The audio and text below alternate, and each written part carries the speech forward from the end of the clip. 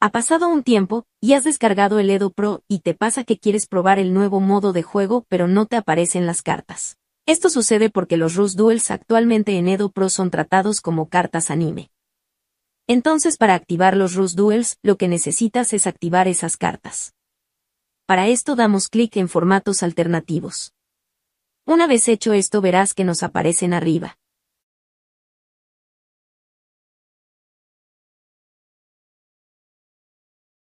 No olvides suscribirte a este canal.